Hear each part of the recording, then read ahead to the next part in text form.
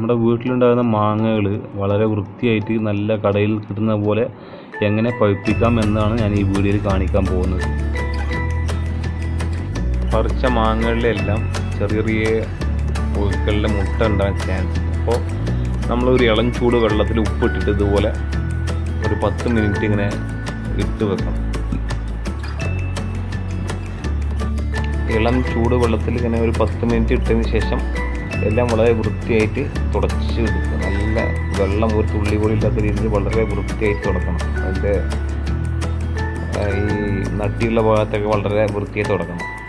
മാങ്ങയിൽ മെയിനായിട്ടുണ്ടാകുന്ന പ്രശ്നം ഒരു ചെറിയ പ്രാണി വന്ന് മുട്ടയിട്ടിട്ട് പോവുക ചെയ്യുക ആ മുട്ടയാണ് വിരിയുമ്പോഴാണ് പുഴുക്കളുണ്ടാകുന്നത്. ആ പുഴുക്കളാണ് മാങ്ങയ്ക്ക് വരുത്തുന്നത് അപ്പോൾ അങ്ങനെയുള്ള ഈ ഉപ്പുവെള്ളത്തിൽ കുറച്ച് നേരം ഇട്ട് വെച്ചാൽ തന്നെ മുട്ടകളെല്ലാം നശിച്ചു പോകുന്നതാണ്.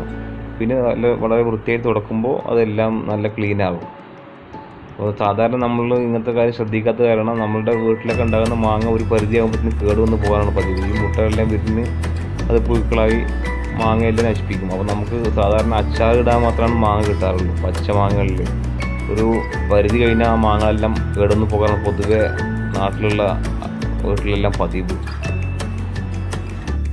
തുടച്ച മാങ്ങകളെല്ലാം ഒരു പേപ്പർ വെച്ചിട്ട് കുറച്ച് നേരം അങ്ങനെ പരത്തി വെക്കണം. ഫാൻ ഇട്ടിട്ട്. അതിന് ചൂടെല്ലാം ഒന്ന് പോകാനാണ്.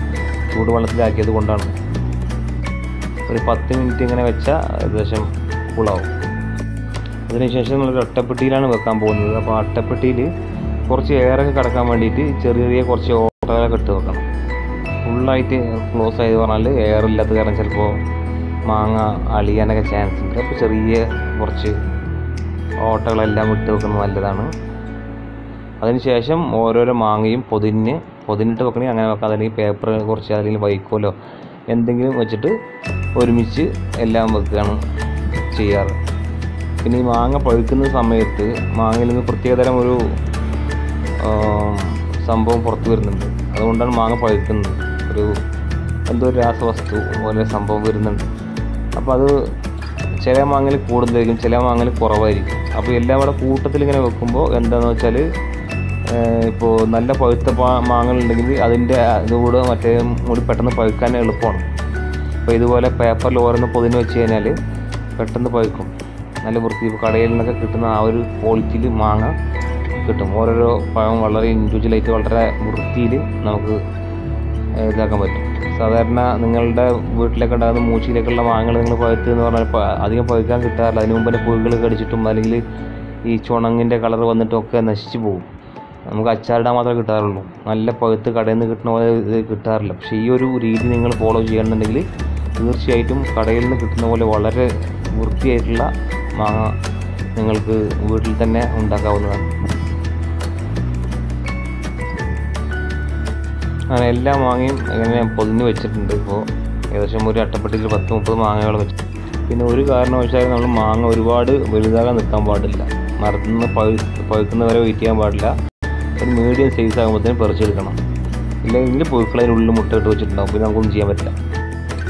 ഇത് ഏകദേശം ഒരു എട്ട് ഒമ്പത് ദിവസം കഴിഞ്ഞിട്ട് ആ മാങ്ങ ഓപ്പൺ ചെയ്യുമ്പോൾ ഉള്ളതാണ് ഇതൊരു വലിയ അട്ടപ്പെട്ടിയിൽ വേറെ ആക്കി വെച്ചിട്ടുണ്ടായിരുന്നു. അതാണ്. അപ്പോൾ വളരെ നല്ല രീതിയിൽ പഴുത്ത് വന്നിട്ടുണ്ട് എല്ലാ മാങ്ങകളും. ഒരു പുഴുകൾ പോലും ഇല്ല. ഒരു മാങ്ങയിൽ പോലും ഒരു പുഴുവിന് പോലും കിട്ടിയിട്ടില്ല. എല്ലാം നല്ല ടേസ്റ്റി ആയിട്ടുള്ള മാങ്ങയാണ്. നമുക്ക് കടയിൽ നിന്ന് മേടിക്കുന്നതിനെക്കാട്ടിയും ഭംഗിയായിട്ട് നമുക്ക് കിട്ടുന്നുണ്ട്. കിട്ടിയിട്ടുണ്ട്.